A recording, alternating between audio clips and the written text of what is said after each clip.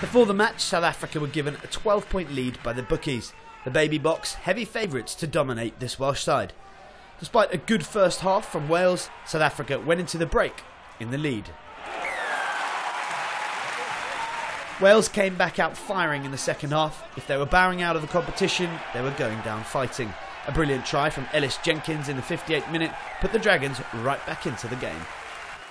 With just seconds left on the clock, Wales needed a converted try to win the match. One last roll of the dice, and it paid off.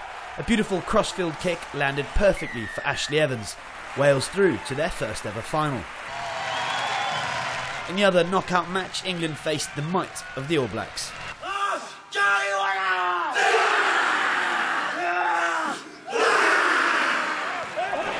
Baby Blacks got the perfect start when Efelami Faiva crossed the whitewash after just nine minutes.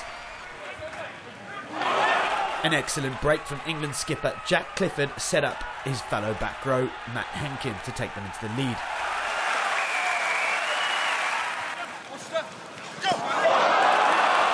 Anthony Watson then pounced on a loose pass and took the game away from the All Blacks for the first time ever, an all Northern Hemisphere final.